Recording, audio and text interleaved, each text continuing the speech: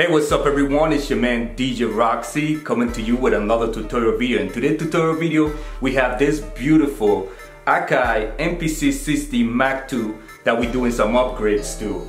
Now as you can see um, this MPC60 is in a fantastic condition um, and we're gonna be doing some upgrades on this baby so first thing I'd like to start out by saying uh, thank you to all the subscribers.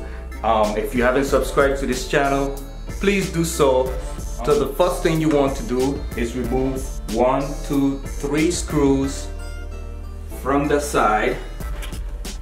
Then you have one, two, three screws on the other side.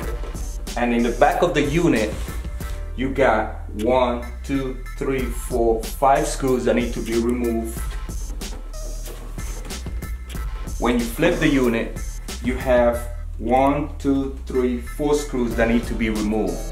Remove these screws so we can get the top part off. Alright guys, so once you remove the screws that I told you about, then the top part of the MPC should be able to move on the side. Carefully put it like this make sure that you don't have that you're not pulling any of the ribbon cables or the wires. Alright guys so one of the upgrades that we're doing today we are changing our 3.10 operation system to a 3.15 if you can see that. So I already did the upgrade on my drive but I have to remove everything in order to get to that chip Alright guys, so the first thing we're gonna do is remove this ribbon cable from my SCSI interface. Put that on the side. Next, remove this ribbon cable. Then to the bottom, you have another ribbon cable.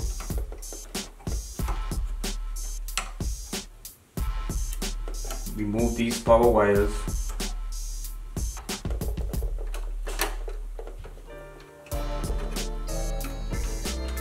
Please try not pulling anything too hard. You don't want to break anything. Alright guys, so on the MPC60 Mark 1 and Mark 2, which this is the Mark 2, there are four chips. Uh, on the MPC 3000, there's only two chips that need to be removed. Now, you gotta be careful when you're putting in these chips. You gotta put them in the direct order. Um, if not, your MPC will not come on. Um, so you have one, two, three, four, just in that direct order.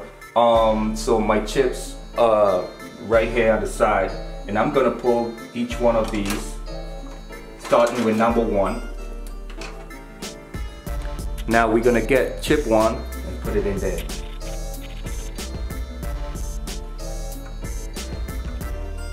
Carefully put this in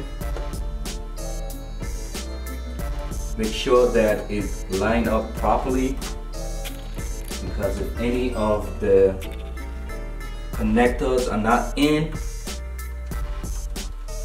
you will not get no contact um, and the MPC will not come on. So just take your time with this. Alright guys so now um, my four chips are in. Um, just make sure that each uh, contact is inside uh, the hole. If anything is out, um, just pull it back out, straighten it, and put it in in the proper uh, manner.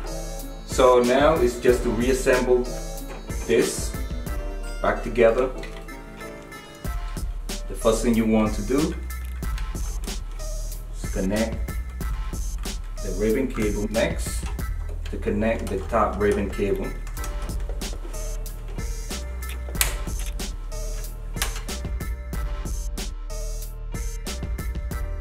process is connect this cable right here and the other one to the bottom.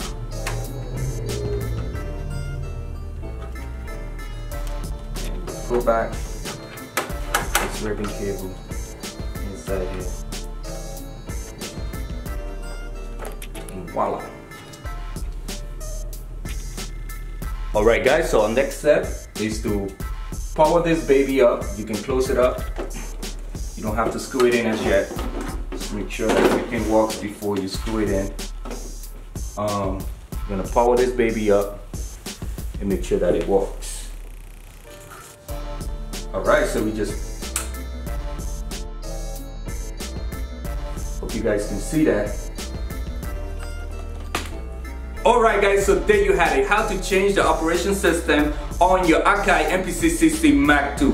I hope this tutorial video was a help to any of you guys and like I said before, um, if you haven't subscribed to this channel, please do so now for more tutorial videos.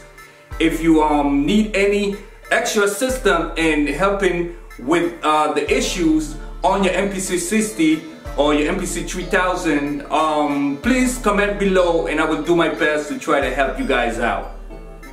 I hope you guys uh, have a great day. It's your man DJ Rockcee. Until next time.